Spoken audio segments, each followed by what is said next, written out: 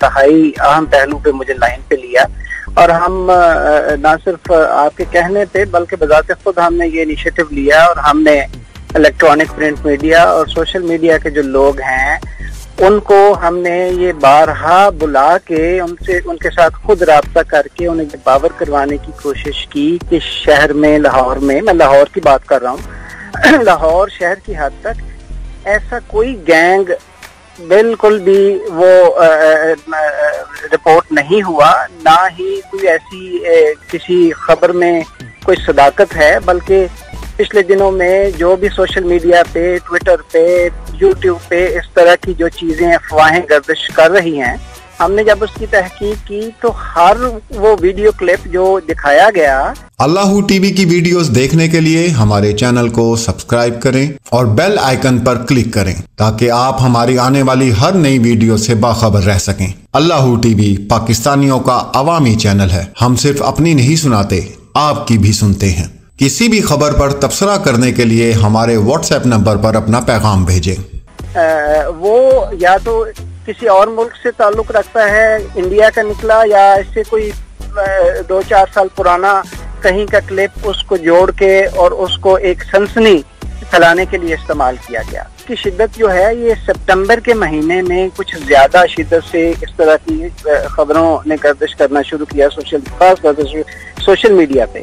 और उस पर मैं गुजारिश करूँ कि जो भी हमारे नज़र से ऐसी कोई पोस्ट गुजरी हमने खुद उनसे रबता करके उनको जिसने सोशल मीडिया पे ऐसी कोई खबर या कोई ऐसा वीडियो क्लिप या कोई ऐसी तस्वीर पोस्ट की, हमने खुद उनसे रबता करके ये बात समझने की कोशिश की और हर ऐसे वाक्य के पीछे कोई हकीकत हमें नज़र ना आई कि ये बयान करने वाला ऐसे बयान करता है कि जैसे सारा वाक्य हम्म। उसके सामने ये रूनमा हुआ मैं अगर आप इजाज़त दें तो मैं हमने स्टेटिस्टिकली इस चीज़ को थोड़ा सा एड्रेस करने की कोशिश की और सोशल और इलेक्ट्रॉनिक मीडिया के लोगों को बुला के हमने कुछ हकायक उनके सामने रखे स्टैटिस्टिकली अगर आप देखें कि सितंबर में चूँकि ये बहुत ज़्यादा हमें शिकायत मिली और हमें बहुत ज़्यादा चीज़ें मिली ख़ासतौर पर सोशल मीडिया पे इस हवाले से।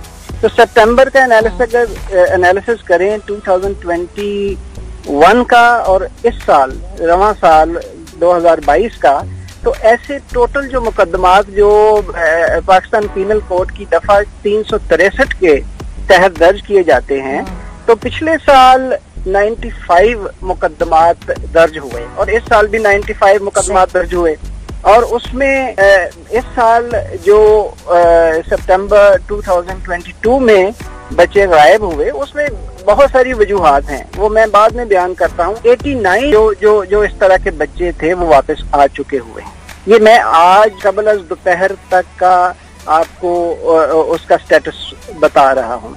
अब इसमें बच्चे गायब क्यों होते हैं? एक तो सोशल मीडिया जो है, उस पर इंफॉर्मेशन इतनी ज़्यादा है कि हमारी एब्जॉर्प्शन की कैपेसिटी नहीं है, जितनी इंफॉर्मेशन है। और हम जो इंफॉर्मेशन आती है, वो उसको आगे बिना तहकीक किए उसको फॉरवर्ड कर देते हैं। हमने एनालिसिस किया दो एक्सट्रीम्स हैं सोसाइटी में। एक ऐसी फैमिलीज़ के बच्चे कि जिनको कोई रोक टोक नहीं है, जिनको हर चीज़ मुयसर है, और एक ऐसी फैमिलीज़ के जो, जिनको हम हैव नॉट्स कहते हैं। तो बच्चे वो जो हाई एंड फैमिली के बच्चे हैं वो या तो नशे की लत में मुबतला हैं वो अपने दोस्तों के साथ कहीं आउटिंग पे चले जाते हैं पीछे वो हम्म। घर वाले परेशान हो जाते हैं पुलिस को बताते हैं और पुलिस कतन इसमें देर नहीं करती हम उनका फ़ौरन एफ़ आई आर उनकी दर्ज कर देते हैं और बाद में हमें अगले ही लम्हे या अगले दिन या दो दिन बाद पता चल जाता है कि उनका बच्चा वापस आ गया और वो अपनी मर्ज़ी से गया था। दूसरे बच्चे ऐसे हैं कि जो जिन पे वालदेन सख्ती करते हैं जिनको शायद ऐसे इतने मौके मुयसर नहीं मुआशी तौर पे उनका आ, मतलब वो वो मतलब इतने साउंड नहीं होते तो फिर कोई नौकरी के चक्कर में कोई आ, मेरे जहन में आपसे बात करते हुए हर वो केस मेरे जहन में आ रहा है कि जिसको हमने इन्वेस्टिगेट किया और बाद में बात कुछ और नहीं।